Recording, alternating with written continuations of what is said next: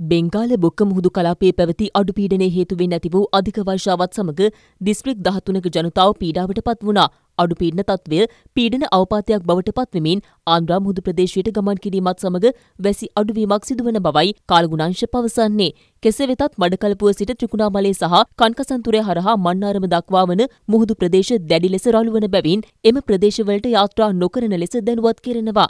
පැවති තද වැසි සහිත කාලගුණ තත්ත්වයේ ක්‍රමෙන් යහපත් අතර පත්වමින් පවතින අද දිනේ ගත්තොත් අද දිනේදී දිවෙනේ බස්නාහිර සබරගමුව වයඹ පළාත්ලත් ඒ වගේම ගාල්ල මාතර දිස්ත්‍රික්කවල වැසි වාර කිහිපයක් ඇති වෙන්න පුළුවන්. විශේෂයෙන් දෙක දැසන කාලේදී තරමක් වැසි අපේක්ෂා කිරීමේ හැකියාව පවතිනවා. ඊට අමතරව දිවෙනේ සෙසු ප්‍රදේශවල විශේෂයෙන් සවස් කාලේ රාත්‍රී කාලේ ගුරුන් සහිත වැසි අපේක්ෂා කරන්න පුළුවන්. ඒ සමග උතුරු ප්‍රදේශයේ ආශ්‍රිතව දවස පුරනවා වගේ තරමක වැසි සහිත කාලගුණ තත්ත්වයක් අපේක්ෂා කිරීමේ හැකියාව තියෙනවා. බෙන්ගාල බොක්ක මුහුදු ප්‍රදේශයේ පවතින අඩු පින්න කලාපය ක්‍රමයෙන් වර්ධනය පවතින නිසා මඩකලපුව සිට ත්‍රිකුණාමලය කංකසන්තුරේ හරහා මන්නාරම දක්වා වෙරළට පෙරෙන මුදු ප්‍රදේශවල දීවර සහ නාවික කටයුතු වලින් වළකින්න කියන එකක් දීවර සහ නාවික ප්‍රජාවගෙන් නැවතත් ඉල්ලන්න කැමැති.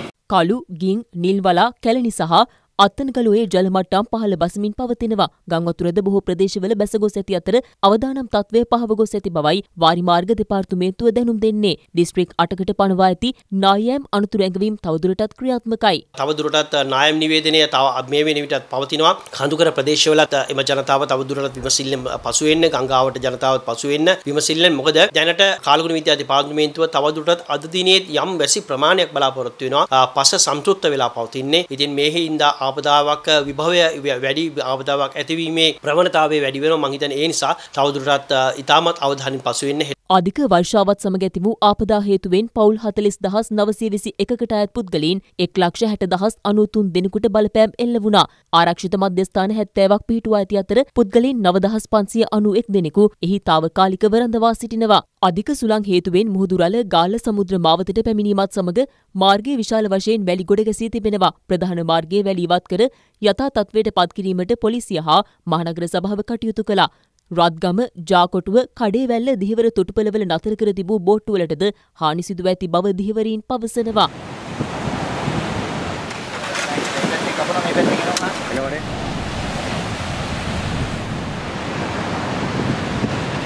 අම්බලන්ගොඩ දිහිවර වරායේ නතර කර තිබූ බහුදින දිහිවර යාත්‍රා අධික සුළං හේතුවෙන් එකිනෙක ගැටී යාත්‍රාවලට හානි සිදුව තිබෙනවා.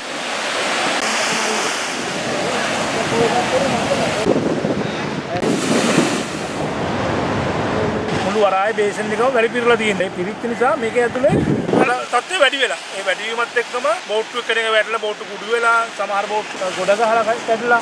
ගන්න දෙයක් නැහැ බෝට්ටු. එකක්වත් ගන්න දෙයක් නැහැ ඔක්කොම කැඩලා.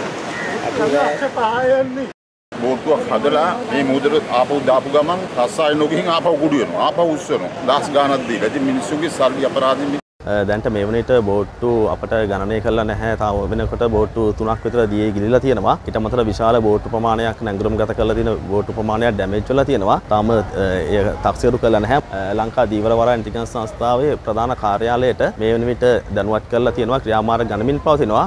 දොම්කර රථය සූදානම් කරලා තියෙනවා අලුත් වැඩි කිරීම යාත්‍රා එසවීමේ කටයුතු සඳහා. ඒ වගේම මෙම තත්ත්වය පහව ගිය පසු අපේ කැනීම් යන්ත්‍රය සූදානම් කරලා තියෙනවා වරාය කැනීම් කටයුතු සිදු කිරීම සඳහා.